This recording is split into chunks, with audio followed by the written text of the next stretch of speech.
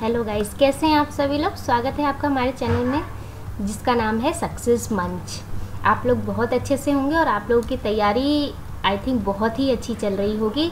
जैसा कि हमारी वीडियोस में आप लोगों को शो हो रहा है जीएस पेपर वन का पॉइंट नंबर नाइन हम लोग आप लोग के लिए लेकर आए हैं और इसका पीडीएफ ही प्रोवाइड होगा आपको हमारे टेलीग्राम चैनल और सक्सेस मंच पेज पे। जिसका लिंक डिस्क्रिप्शन बॉक्स में दिया हुआ है, आप वहाँ जाकर उसे ज्वाइन कर सकते हैं।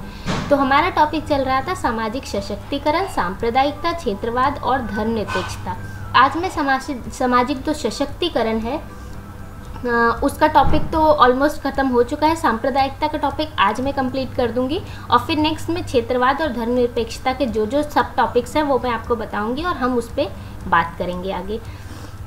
जो व्यूवर्स मेरा चैनल पहली बार देख रहे हैं प्लीज़ मेरे चैनल को सब्सक्राइब कर लीजिए और इसको शेयर करना बिल्कुल मत भूलिएगा क्योंकि आप लोगों के जैसे ही और भी ऐसे एस्पिरेंट्स हैं जिनको ऐसी वीडियोस की ज़रूरत है और पूरा मटेरियल कहीं हिंदी मीडियम में अच्छे से उपलब्ध नहीं है, इसके लिए मैं अपना पूरा प्रयास कर रही हूँ, मैं अपना पूरा कॉन्ट्रीब्यूशन यहाँ देने की कोशिश कर रही हूँ कि आप लोगों को बेस्ट मटीरियल यहाँ प्रोवाइड हो सके। और टाइम टू टाइम मैं यहाँ पर आपको करेंट से भी रिलेट करके बताऊँगी और जो भी हमारे न्यूज़ में चीज़ें चल रही हैं, वो भी हम साथ में करेंगे। एक बार थोड़ा सा कोर्स थोड़ा सा शॉर्ट आउट हो जाए कि हाँ हम लोगों ने इतना कोर्स कवर कर लिया। अब थोड़ा आंसर राइटिंग पे आएँगे। तो हम आंसर राइटिंग भी करेंगे यहाँ पर और आप लोग मुझे आंसर भेजेंगे तो मैं उसे चेक भी करने की कोशिश करूँगी, जैसे मुझसे हो सकता है वैसे ही।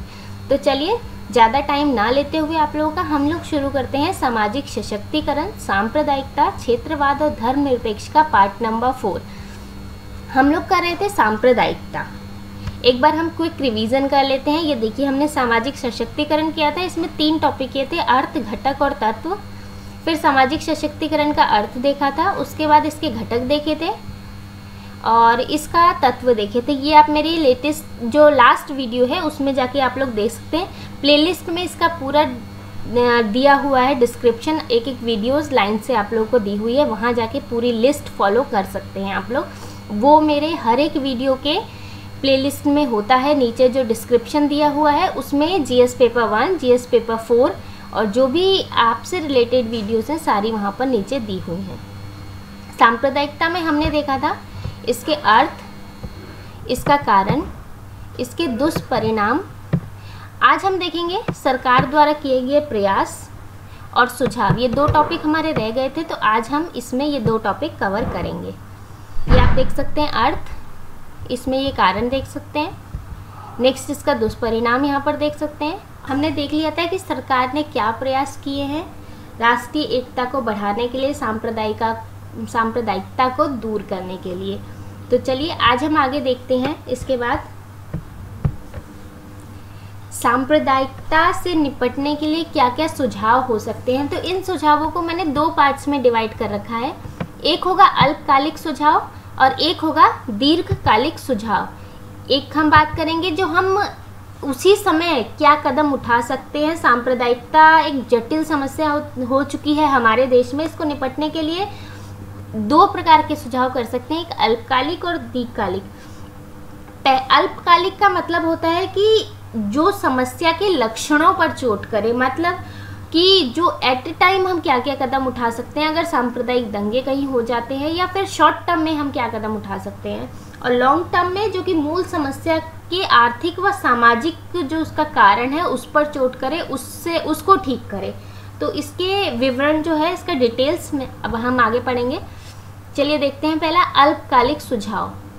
तो इसमें पहला है, मीडिया का सकारात्मक प्रयोग। ये तो मीडिया के सकारात्मक प्रयोग में किसी भी तनावपूर्ण स्थिति में मीडिया का प्रयोग इस प्रकार करना चाहिए कि वह कभी भी, जैसे कि कहीं सांप्रदायिक दंगे हो रहे हैं तो मीडिया का प्रयोग इस प्रकार करना चाहिए कि वो दंगों को और भड़काए नहीं। उसको ऐसी स्थिति लेकर आए कि जो भी तनाव हो रहे हैं उसको अफवाह मतलब कि जो फैलाए नहीं मीडिया मीडिया का मेजर रोल होता है सांप्रदायिकता को एक सांप्रदायिकता को एकता में बदलने के लिए सांप्रदायिक एकता में। तो जो भी दंगे हो रहे हैं जो, भी फसाद हो रहे हैं उसको और फैलाएँ नहीं उसको और भी जैसे कि हिंदू मुस्लिम में अगर कहीं हो रहा है कुछ लड़ाई झगड़ा हो रहा है तो उसको दबाने की कोशिश करें तनाव कम करने की कोशिश करें। मीडिया का ऐसा काम होना चाहिए। इसके साथ ही मीडिया का ऐसा एक दायित्व होना चाहिए कि वह आक्रामक जो नेता है, उसके बयानों के स्थान पर उन धार्मिक नेताओं के बयान को प्रसारित करे, जो सांप्रदायिक तनाव के विरुद्ध विचार व्यक्त करते हों। मीन्स कि आपको समझ में आ गया होगा कि बहुत ज़्यादा घटिया जो और जो खराब सोच होती है, जो बयानबाजी होती है एक पर्टिकुलर धर्म के प्रति, उनको ना उजागर करके जो धार्मिक सोच होती है, जिससे सांप्रदायिक एकता बनी रह सकती है, उन सोचों को ज़्यादा मीडिया में दिखाना चाहिए, यूज़ करना चाहिए। नेक्स्ट हम बात करेंगे इसमें पुलिस कार्यवाही। जब भी कहीं तनाव की स्थिति उत्पन्न होती है तो सबसे पहले ये प्रयास किया जाना चाहिए कि पुलिस कार्यवाही तथा जो धारा 144 होती है, कर्फ्यू होते हैं, जैसे प्रयास से हिंसा को व्यापक होने से रोका जा सके। मतलब कि ये सब जो पुलिस कार्रवाई की जाए या कोई धारा लगाई जाती है या कर्फ्यू लगाया जाता है तो उसमें ऐसा नहीं होना चाहिए कि बहुत ज़्यादा हिंसा और भड़क जाए। उसको काबू में लाने की कोशिश करनी चाहिए। इसके बाद धार्मिक नेताओं को ऐसे विचारों को मतलब फैलाने से रोकना चाहिए, जिससे और धार्मिक जो झगड़े हैं वो और बढ़ जाएँ। नेक्स्ट हम बात करेंगे प्राथमिक कदम की। तो इसके अंतर्गत आता है कि अगर कहीं भी दंगे हो रहे हैं तो पुलिस कार्यवाही तो करनी चाहिए, जैसे कर्फ्यू लगाना चाहिए वहाँ पर। और जिस हिसाब से उस दंगों को रोका जा सके, वो कदम तो उठाने चाहिए। प्लस, धार्मिक जो नेता हैं, उनके अगर किसी बयान पे या कोई राजनीति, नेता है, उनके बयान पे अगर कोई दंगा हो रहा है, सांप्रदायिक दंगे हो रहे हैं तो उनके अपने कथन को वापस लेना चाहिए। उनको ऐसा वक्तव्य नहीं देना चाहिए या ऐसा वक्तव्य अगर उन्होंने दे दिया है तो उनको वापस लेना चाहिए जिससे इस दंगों को उसी समय रोका जा सके और यहाँ पर ऐसा करने के लिए, इस समस्या को हल करने के लिए वहाँ के स्थानीय मीडिया और स्वयंसेवी संस्थाओं की भी वहाँ पे मदद ली जा सकती है। इसके बावजूद अगर यदि कट्टरपंथी शांत नहीं होते हैं, वो अपने उसी जो उनकी घटिया हरकतें हैं, उसी में लगे रहते हैं तो उन्हें हिरासत में लेकर कठोर दंड की भी कार्रवाई यहाँ पर करनी चाहिए। नेक्स्ट, सांप्रदायिक वक्तव्य पर रोक। किसी भी सार्वजनिक सभा में या ऐसी किसी सभा में ऐसे वक्तव्य पर रोक लगाई जानी चाहिए जो एक संप्रदाय को दूसरे संप्रदाय से अच्छा या बुरा साबित करता हो। या फिर किसी संप्रदाय के लोगों के मन में तुलनात्मक या आक्रात्मक की भावना अगर पैदा करता हो ऐसी कोई, हमारी जो इंडिया है, वहाँ वक्तव्य की स्वतंत्रता दी गई है कि अपने, हम लोग बोलने की स्वतंत्रता है, सभा करने की स्वतंत्रता है, लेकिन ऐसा कहीं भी वक्तव्य होता है जिसमें किसी एक धर्म को ऊँचा दिखाया जाता है और किसी पर्टिकुलर दूसरे धर्म को नीचा दिखाया जाता है या उसके उसके अंदर की बुराइयाँ निकाली जाती हैं तो ऐसे किसी भी वक्तव्य पे उसी टाइम रोक लगानी चाहिए। ये शॉर्ट टर्म सुझावों के अंदर आप लिख सकते हैं। नेक्स्ट है धार्मिक संस्थाओं में विद्वेषपूर्ण विचारों पर रोक लगानी चाहिए। कोई भी धार्मिक संस्था हो, उसमें अगर ऐसे वक्तव्य दिए जा रहे हैं तो इन वक्तव्यों पर कठोर रोक की कार्रवाई होनी चाहिए, जो कि धार्मिक सभा में समाज या राजनीति से संबंधित जो भी विद्वेषपूर्ण अगर विचार प्रस्तुत करता है, कोई पर्टिकुलर व्यक्ति, कोई संस्था तो उसे उसी समय रोक वहाँ पर लगानी चाहिए। चाहे वो धार्मिक संस्था ही क्यों ना हो, लेकिन उसे बिल्कुल भी अधिकार नहीं है, वो किसी भी दूसरे धर्म को नीचा दिखा सके।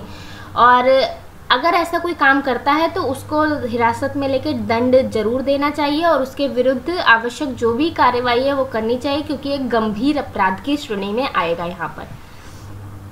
नेक्स्ट है, जिला प्रशासन में मुख्य अधिकारी की भूमिका।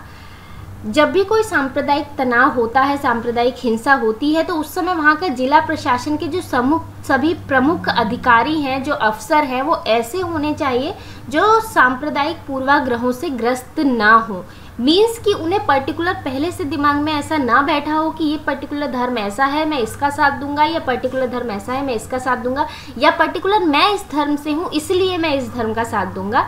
चाहे वो दूसरा वाला धर्म गलत हो या सही हो, उससे मुझे कोई फ़र्क नहीं पड़ता। तो ऐसे जिला प्रशासन जो मुख्य अधिकारी हों, ऐसे नहीं होने चाहिए ज़िले में, जिससे इस टाइप का उनके अंदर पहले से ही माइंडसेट ऐसा बना हो कि कोई एक पर्टिकुलर धर्म की तरफ़ उनका झुकाव हो।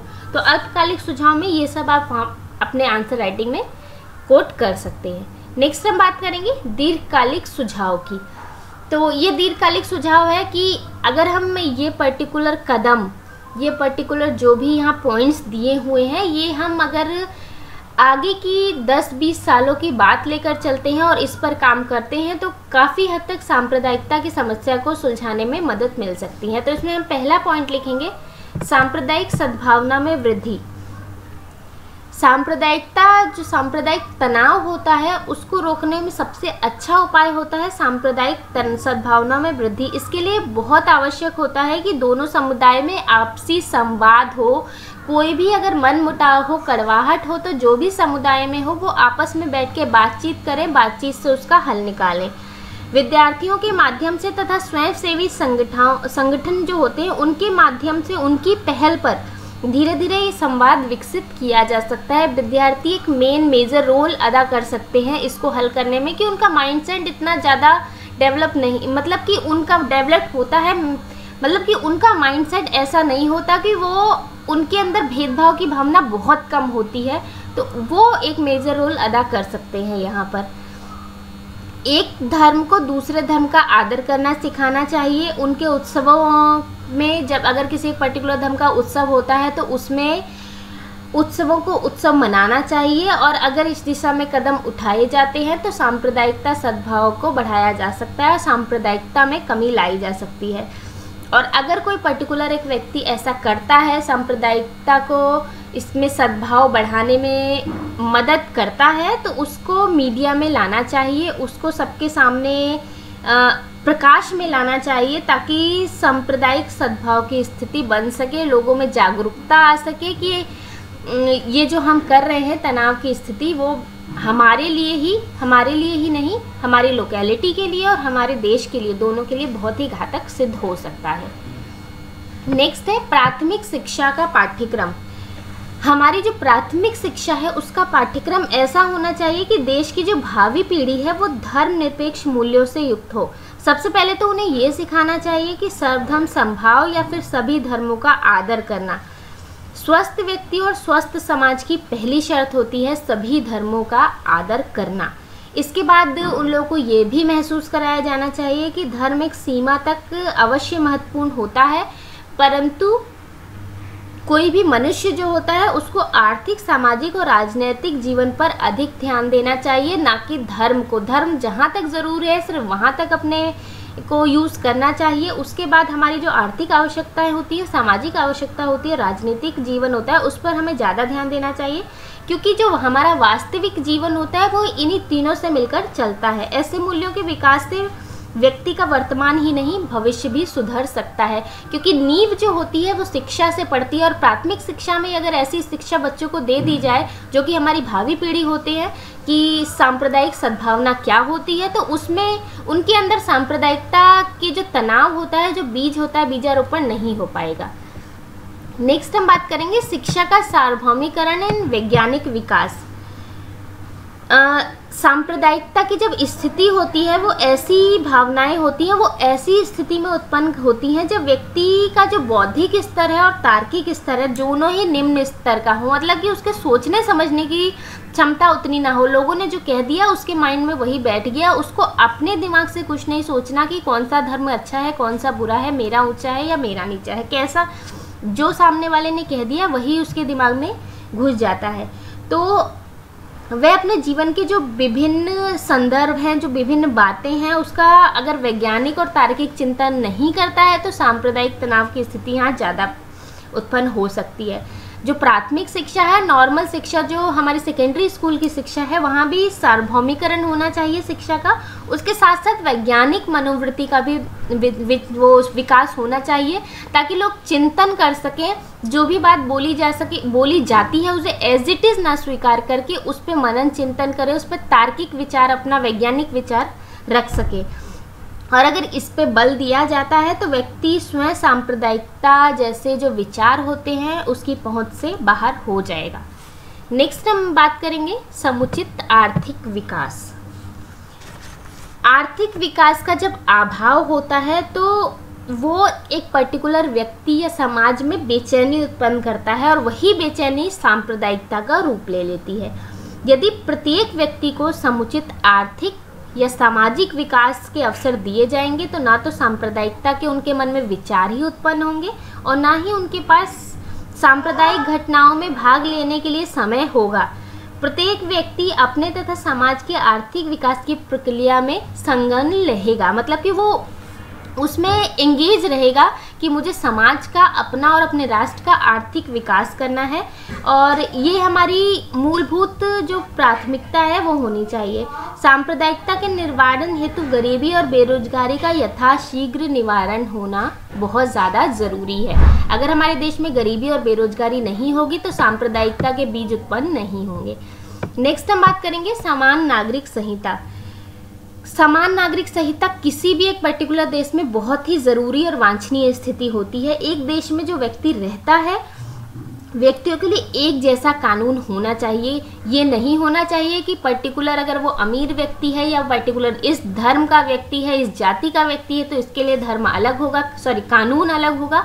और ये दूसरी जाति का व्यक्ति है या गरीब व्यक्ति है तो इसके लिए कानून अलग होगा। और ये जो कानून होना चाहिए, संरचनात्मक भेदभाव केवल उन्हीं के प्रति होना चाहिए जो किसी सामाजिक कारणों से अन्यायपूर्ण स्थिति में रहने के लिए अभिशप्त रहे हों। अगर कहीं पे भी सामाजिक जो हमारा कल्चर है, वहाँ पर अगर समान नागरिक संहिता नहीं होती, सबके लिए एक बराबर कानून नहीं होते तो मेन ये रीजन होता है इस सांप्रदायिकता को बढ़ावा देने में। इसके अभाव में सांप्रदायिकता को बढ़ावा मिलता है। नेक्स्ट हम बात करेंगे राजनीति और सांप्रदायिक तत्व। राजनीति से सांप्रदायिक जो तत्व होते हैं, उन्हें दूर किए जाने की बहुत ज़्यादा आवश्यकता होती है, क्योंकि ऐसा ना होने पर जो भी संप्रदाय होता है, उस पर प्रेशर ग्रुप बन जाता है। मतलब कि राजनीति होती है पर्टिकुलर धर्म पर्टिकुलर एक कोई पार्टी है तो उस पर प्रेशर ग्रुप हो जाएगा कि अगर ये पर्टिकुलर संप्रदाय का उस पर दबाव आ जाएगा और लोकतांत्रिक राज्य में इस दबाव का सामना न कर पाने के कारण राजनीति को बहुत ज़्यादा नुकसान उठाना पड़ सकता है। हमारे जो संविधान है उसको बहुत ज़्यादा नुकसान उठाना पड़ सकता है। नेक्स्ट हम बात करेंगे बहुत ही इम्पोर्टेंट टॉपिक जो अल्पकालिक सुझाव में भी हमने देखा था, लेकिन वो एट ए टाइम हम क्या कर सकते हैं वहाँ देखा था और यहाँ पर हम देखेंगे लॉन्ग टर्म में हम लोग क्या सुझाव यहाँ पर यूज़ कर सकते हैं। तो पुलिस और प्रशासन का प्रशिक्षण। इस समस्या से निपटने के लिए पुलिस और प्रशासन को विशेष रूप से प्रशिक्षण दिया जाना चाहिए और भेदभाव जो करते हैं पुलिसकर्मी या प्रशासन के अधिकारी, उन लोगों को चिन्हित कर, उन लोगों को पहचान कर, उनके विरुद्ध सख्त कार्रवाई की जानी चाहिए। जो लोग इस कार्य में भागीदारी देते हैं, जो अवांछनीय तत्व होता है, उनको, उनका बचाव करते हैं तो उन लोगों को कड़ी से कड़ी कार्रवाई करके उन्हें दंड देना चाहिए। तो ये बहुत ही इंपॉर्टेंट टॉपिक है। आप लोग अधिकारी बनने जा रहे हैं तो आप लोग उसी हिसाब से सोचिए अपने माइंड सेट उस हिसाब से बनाएँ कि मैं एक ऑफिसर हूँ और मुझे सांप्रदायिकता को रोकने के लिए क्या क्या सुझाव आ, मैं दे सकता हूँ या अपनी फ़ील्ड में मैं सांप्रदायिकता को रोकने के लिए क्या क्या कदम उठा सकता हूँ। तो अगर इस हिसाब से आप अपना माइंडसेट बनाएँगे तो निश्चित ही एक दिन आप सरकारी ऑफिसर बन के निकलेंगे, क्योंकि आपको अपनी सोच भी उस लेवल तक लेके जानी होगी जिस लेवल तक एक सरकारी ऑफिसर की सोच होती है। तो आज ही से आप जो भी क्वेश्चन आता है, उसको उस लेवल पे सोचने की कोशिश करें कि मैं एक ऑफिसर हूँ और मैं इस दिशा में क्या क्या कदम उठा सकता हूँ। तो देखिए, जल्द ही आपकी मंजिल दूर नहीं होगी, आप जल्द से जल्द एक ऑफिसर बन के निकलेंगे। अपनी सोच को बढ़ाने की आवश्यकता है बस आपको। तो आज हमने बात की सांप्रदायिकता को कम करने के, सांप्रदायिकता तनाव को कम करने के लिए, या उससे निपटने के लिए सुझाव। हमने देखा अल्पकालिक सुझाव, हमने देखे दीर्घकालिक सुझाव। एग्ज़ाम में जैसा क्वेश्चन आता है, आप उसी हिसाब से क्वेश्चन करेंगे, और सरकार द्वारा किए गए प्रयास, वो भी मैंने पहले बता दिए हैं। तो जिस हिसाब से क्वेश्चन आएगा एज अ ऑफिसर आप क्या कदम उठाएँगे? तो आप अल्पकालिक और दीर्घकालिक दोनों यहाँ लिखेंगे पर्टिकुलरली हम क्वेश्चन पे भी आएँगे क्वेश्चन भी डिस्कस करेंगे कि कैसे एग्ज़ाम में आ सकते हैं। पहले थोड़ा सा कोर्स यहाँ कंप्लीट कर लें हम लोग। तो आज मैंने आपको पूरा ये सांप्रदायिकता टॉपिक खत्म करा दिया है। नेक्स्ट हम टॉपिक बात करेंगे यहाँ पर क्षेत्रवाद की। और क्षेत्रवाद में काफ़ी सारे सब टॉपिक्स हैं। यहाँ आप देख सकते हैं। आशय हम करेंगे क्षेत्रवाद और पृथक राज्य की मांग, क्षेत्रवाद और अंतर्राज्य तनाव, क्षेत्रवाद और केंद्र राज्य संघर्ष, क्षेत्रवाद और संघ से पृथकता उत्तरदायी कारक कौन कौन से हैं? क्षेत्रवाद के इसके परिणाम क्या होते हैं? क्षेत्रवाद की समस्या से, समस्या के समाधान हेतु क्या क्या उपाय हो सकते हैं? सरकार के क्या प्रयास हैं क्षेत्रवाद की समस्या को निपटने में? और नए राज्यों के गठन की मांग क्या है? क्षेत्रवाद वही होता है जो हमारा तेलंगाना अलग हुआ इस हिसाब से। जब हम इसमें डिटेल में स्टडी करेंगे तो मैं एक एक चीज़ इसमें समझाऊँगी कि क्या क्या चीज़ें होती है। तो आप देख सकते हैं, एक छोटा सा क्षेत्रवाद का टॉपिक और इसके 11 पॉइंट्स हो गए यहाँ पर, सब टॉपिक्स में। तो ऐसे ही मैं पूरी डिटेल स्टडी आपके सामने लेकर आऊँगी। मेरा एम ये नहीं है कि मैं कुछ भी वीडियो बना के छोटी मोटी बस एक वीडियो देनी है आपको। मुझे है कि मेरे को आपको एक एक पॉइंट्स की डिटेल स्टडी कराऊं ताकि आप अपने नॉलेज को एनहेंस कर सकें, उसको बढ़ा सकें और अपने एग्ज़ाम में बहुत से अच्छे पॉइंट लिख के आ सकें। तो आज के लिए बस इतना ही। आज मैं आपको इतना ही कराऊँगी। तो प्लीज़ अगर मेरी वीडियोस आपको अच्छी लग रही हैं तो अपने बहुत प्यारे प्यारे कमेंट मुझे ऐसे ही करते रहिए, ताकि मैं मोटिवेट होती रहूँ। और अगर आपके कमेंट नहीं आता तो मेरा भी वीडियो बनाने का मन नहीं करता है। तो आप वीडियो देखते रहिए कमेंट मुझे करते रहिए, मेरे चैनल को सब्सक्राइब कीजिए लाइक कीजिए और शेयर कीजिए। Thank you thanks for watching